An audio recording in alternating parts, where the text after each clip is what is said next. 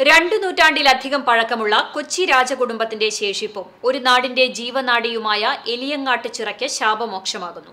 ഗാന്ധി ജയന്തി ദിനത്തിൽ കുന്നത്തൂർ റെസിഡൻസ് അസോസിയേഷന്റെ നേതൃത്വത്തിൽ പഞ്ചായത്തിന്റെ സഹകരണത്തോടെ ചിറയിൽ പുനരുജ്ജീവന പ്രവർത്തനങ്ങൾ നടത്തും. ആകാരത്തിൽ അത്ഭുതം കൂറുന്ന എടുപ്പോടെ ഒട്ടേറെ വിശേഷണങ്ങളോടെ നിലകൊള്ളുന്ന ഒന്നാണ് ഏലിയങ്ങാട്ട് ചിറ. ഒരു ഏക്കർ നാൽപ്പത്തിരണ്ട് സെന്റിൽ നിലകൊള്ളുന്ന ഏലിയങ്ങാട്ട് ചിറ പഴക്കത്തിന്റെയും പ്രതാപത്തിന്റെയും ജനോപകാരത്തിന്റെയും പ്രതീകമായി നിലകൊള്ളുമ്പോഴും ഇത്രയും വലിയ ജലസംഭരണി ഊർദ്ധവായു വലിക്കുന്നത് പ്രകൃതി സ്നേഹികൾക്ക് വേദന നിറഞ്ഞ കാഴ്ചയാണ്. ചിറയുടെ ചുറ്റുഭാഗവും കാട് കയറിയതിനാൽ മനുഷ്യ പെരുമാറ്റം ഇല്ലാതായി. ഇതുമൂലം ആളുകൾക്ക് ചിറയിൽ ഇറങ്ങാൻ കഴിയാത്ത അവസ്ഥയായി.